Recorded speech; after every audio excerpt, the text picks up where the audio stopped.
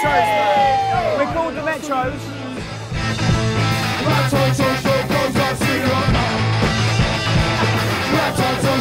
have to say, on your rider, there were some very difficult things to get, but I've got you a great gift.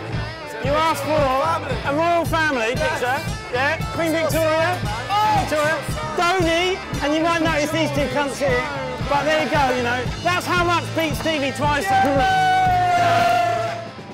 What you didn't know is that before he did the beats, he worked for Cher. The big question. Did you?